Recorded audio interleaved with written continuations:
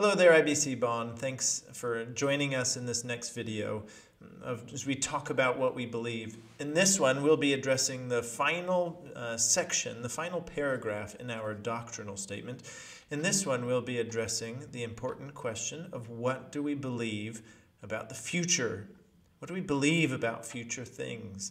What will happen at the end? What do we believe the Bible tells us will happen at the end of this age? Well, we await.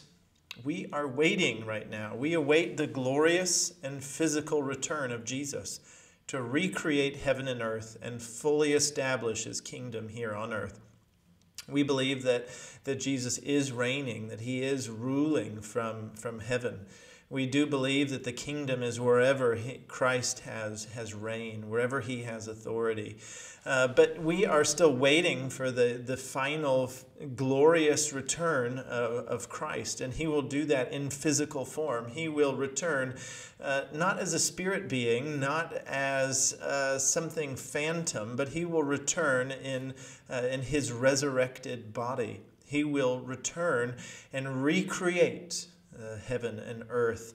It will be, as Revelation says, a new heaven and a new earth and his kingdom will be here on earth. And that's what we uh, mean when we talk about heaven. It is, it is, Christ's kingdom, it is the new heaven and the new earth, uh, not in some other dimension, but here in the recreated heaven and earth. We believe that uh, the resurrection will come. We await the resurrection of the dead and the final judgment of all humanity.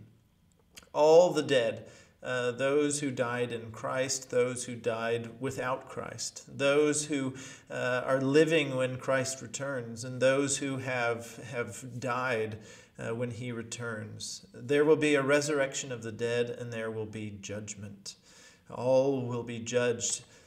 Uh, those who are in Christ so we await, as his church, we await the eternal joy in the new heaven and new earth for all who are in Christ. Uh, those are those who we see around us and those who have died in Christ in, in centuries uh, gone by. We are all awaiting the resurrection of the dead and the judgment uh, that will um, affirm the righteousness of those who are in Christ. And they will be uh, invited into the kingdom because their names are written in the Lamb's book of life and they will enjoy uh, the presence of God. They will live a life uh, without sin, unable to sin.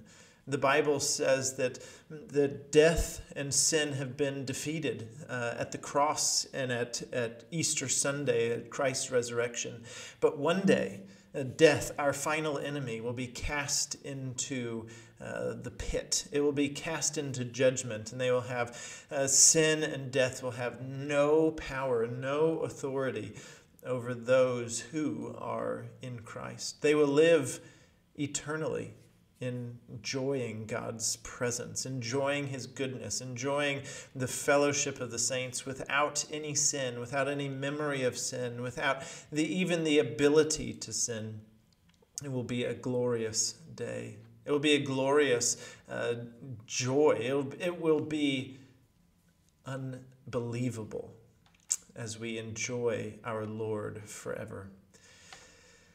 We also await, unfortunately, the, the endless suffering in hell of those who do not place their faith in Christ. This is the other side that, that sin has uh, consequences and it separates us from God.